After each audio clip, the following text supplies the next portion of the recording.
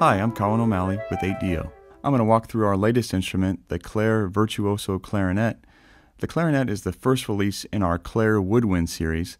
The Claire project is a full woodwind collection. We've sampled virtuoso soloists for all the major orchestral winds, and we'll be releasing new instruments frequently over the next few months.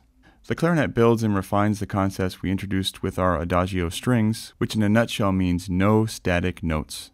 Every note breathes naturally with emotion. The clarinet has two distinct legato performances, one fast and one slow. For this video I'm going to show you the fast one, but both of them operate identically. On the right side of the interface here we have three mic positions, close, Decca, and wide. Many times I find myself loving the lush ambience of hall recordings, but at the same time I love the guts and detail of a more focused studio recording. To this point I haven't really had both of those in one library, and for Claire, we really wanted both. To accomplish this, we used a very unique approach for our close mics. I can make another video about all our engineering, but in summary, they are not traditional mono spot mics, but rather a uniquely isolated stereo pair which are still in phase with the deeper room mics. In this way, you finally have the magic of a hall and a tight studio space in a single library. Here's an example of the close mics by themselves with no reverb.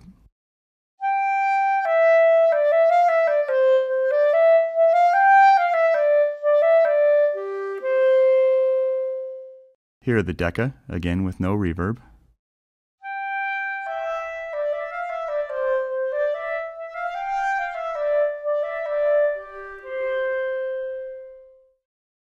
And the wide.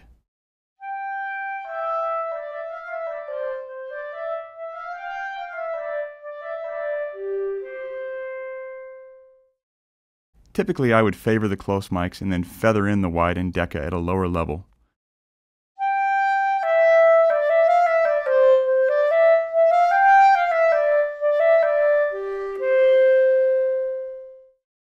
On the left of the interface, you have dynamics. Dynamics are created by a carefully crafted filter and give you a lot of control. However, we do not crossfade static layers for our legatos. Every single note has natural expression and emotion. The second knob here is volume expression, or CC11. Here we have legato speed.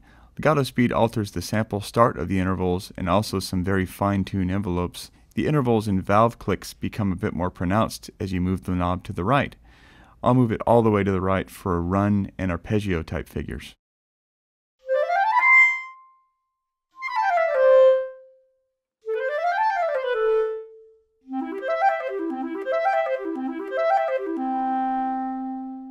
Next we have legato volume, which changes the level of the actual interval transitions.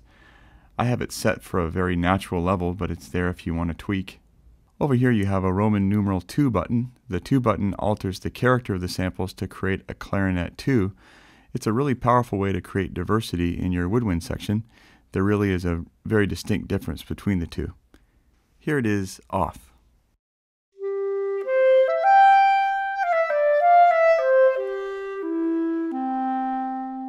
And now on.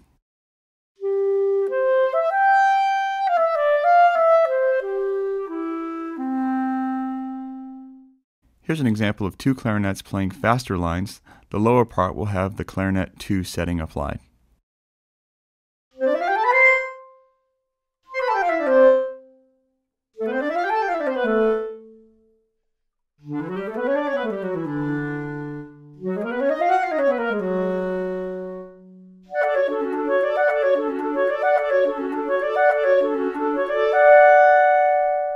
In the middle here you have the articulation list. Here's a slower legato example, key switching between a few different articulations.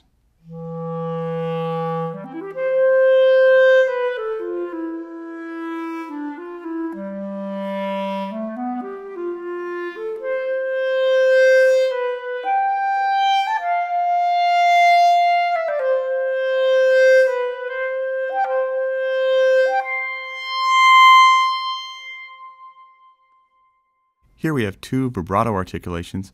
Vibrato is not the most common thing in the world, particularly in orchestral music for clarinets, but I've always found the, the sound really interesting. It's sort of ethnic, kind of maybe a little bit like a duduk. Anyway, here's what it sounds like.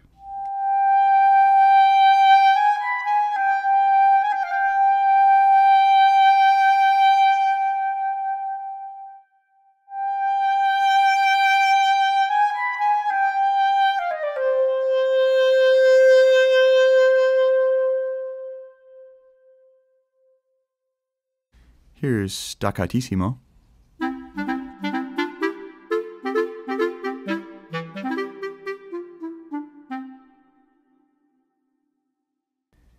And this is Marcato.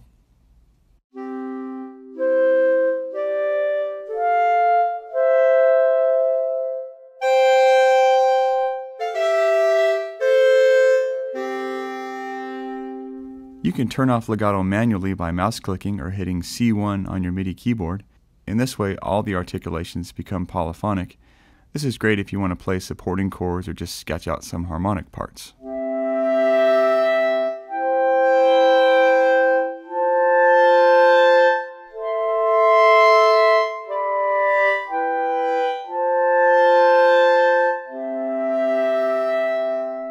That's our fast legato patch for you. We'll have some other examples and demos very soon. Thank you.